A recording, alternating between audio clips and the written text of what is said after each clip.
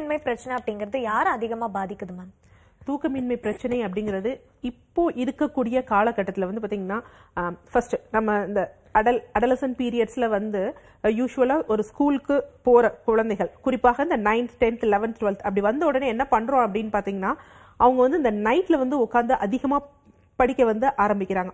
So எப்படின்னா அவங்க ஃபுல்லாக எல்லா நாளும் உட்காந்து படிக்கிறது கிடையாது. அந்த எக்ஸாம்ஸ் நியர்பை வர்றப்ப என்ன பண்ணுறாங்க உட்காந்து அதுக்கப்புறம் படிக்கிறது. ஒரு twelve o'clock one o'clock two o'clock and three o'clock வரைக்கும் படிச்சுட்டு அப்படியே போய் எக்ஸாம் எழுதுறவங்க. ஏன்னா அப்பொழுதுக்கு ஏற்றிட்டு அப்படியே போகிறவங்க ஸோ நம்ம இதை பண்ணிடுறோம் ஆனால் நம்ம உடம்புக்குள்ள ஒரு சர்க்காடியல் ரிதம் அப்படிங்கக்கூடிய பயாலஜிக்கல் கிளாக் இருக்கு. நீங்க நினைக்கிறீங்க இது இதோட முடிஞ்சிருச்சு அப்படின்னு. ஆனா அது அப்படி கிடையாது. நம்ம அதை வந்து ரீசெட் பண்ணி விட்டுறோம்.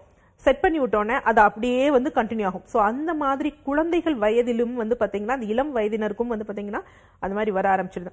அது மாதிரி வேலைக்கு போறப்ப இன்றைக்கு பல ஆண்களும் பல பெண்களும் வந்து பார்த்தீங்கன்னா இந்த கார்ப்பரேட் வேர்ல்டில் நைட் ஷிஃப்ட் கொண்டு வராங்க. ஆனால் அந்த நைட் ஷிஃப்ட் என்னதான் இருந்தாலும் என்னதான் உங்களுக்கு வருமானம் கொடுத்தாலும் அது நோய் நிலைகளில் தான் போய்விடும். அதனால தான் அவங்க முன்னாடியே உங்களுக்கு ஹெல்த் இன்சூரன்ஸையும் சேர்த்து கொடுத்துட்றாங்க. நாங்கள் நைட்டெல்லாம் உங்களுக்கு புரி புளிஞ்சு வேலை வாங்குறதுக்கு நீங்கள் நோயாளி ஆவதற்கு நாங்கள் ஹெல்த் இன்சூரன்ஸ் கொடுத்துறோம் அப்படின்னு.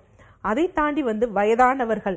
இப்போ இந்த வயதானவர்கள் அப்படிங்கிறப்ப இன்றைக்கு வந்து பார்த்தீங்கன்னா இந்த அறுபதுகள்லேயே வயதான அவங்கெல்லாம் வயதானவங்க கிடையாது. ஒரு 75 வயது எண்பது வயதுக்கு மேலே இருக்கவங்க தான் வயதானவர்கள். அவர்களுக்கு யூஸ்வலாக எப்படின்னா குழந்தைகள் ஆட்டம் தான் இப்போ எப்படி சின்ன குழந்தைகள் வந்து எப்பயும் படுத்து இருப்பாங்க. அவங்க ரொம்ப நேரம் தூங்குவாங்க விழித்திருப்பது கொஞ்ச நேரம். அதே மாதிரி தான் அவங்க இருப்பாங்க. ஸோ அவங்களுக்கு அது நார்மலான விஷயம் தான் இந்த அறுபதுகளில் இருக்கிறவங்க ஐம்பதுகளில் இருக்கவங்க அவங்களுக்கு இந்த மாதிரி பிரச்சனைகள் இருந்ததுன்னா கண்டிப்பாக நோய் நிலை தான் சோ அவங்க ஏதாவது நோய் நிலைக்கு ஆட்பட்டு இருக்கலாம்.